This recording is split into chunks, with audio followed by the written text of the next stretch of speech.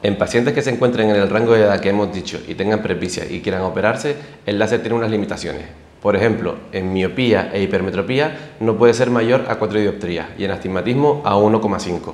Otras limitaciones que tiene es el diámetro de la córnea. Tiene que ser mayor a 11,5 milímetros. La pupila tiene que estar entre 3 y 6 milímetros y la densidad del cristalino no puede estar muy avanzada.